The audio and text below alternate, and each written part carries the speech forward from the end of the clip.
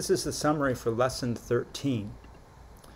And it's showing you once again that congruent images can be transformed, um, moved to cover the other image, and also all the parts of each image are the same.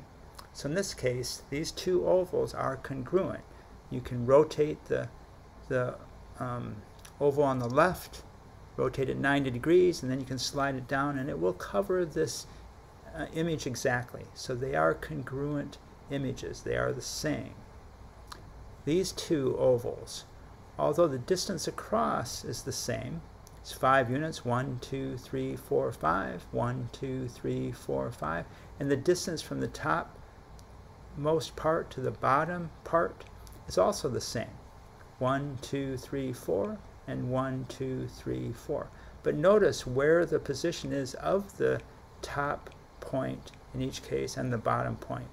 In the left one, it is shifted, or it's actually, it's two and a half units from one end and two and a half units from the other end, so it's right in the middle. But on the right one, it's shifted over um, about a half a unit, so it's three units from the left and two units from the right. So those two ovals are not congruent. They are not the same. And so it's three units from the left and two units from the right. So more information, more understanding of what a congruent image is and what a congruent image is not. So the summary for lesson 13.